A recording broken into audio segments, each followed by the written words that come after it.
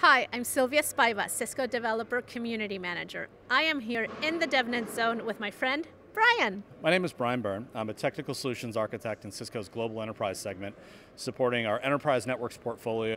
Bryan, what does network programmability mean to you? It's helping my customers uh, change the way that they uh, service and deploy their network. So as they need to turn up services, the idea is being able to leverage tool sets, but ensure that those services are turned up error-free and in a manner that allows them to support the network moving forward. How does DevNet content help customers and partners do that?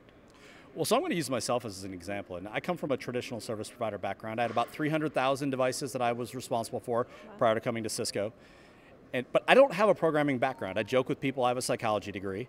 And the idea behind that, though, is that I had to learn how to do this from some places. My customers were making the transition, so did I.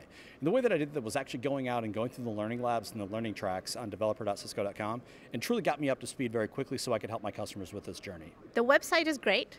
You know what's also great? The DevNet Zone. So now that you've been to the DevNet Zone, you can well, you can get an opportunity to talk with your peers that are at all levels of the journey to help understand where network programmability is going, where network automation is going, but spend time actually just talking to people that are kind of in the same place that you are, understanding where this is going.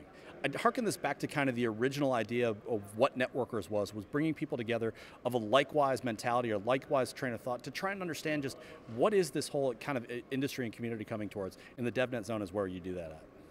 Thanks so much for being here, and can I ask you, which one's your favorite Cisco Live? My favorite Cisco Live is Cisco Live Melbourne. Mine too. Thanks for joining us and see you next time.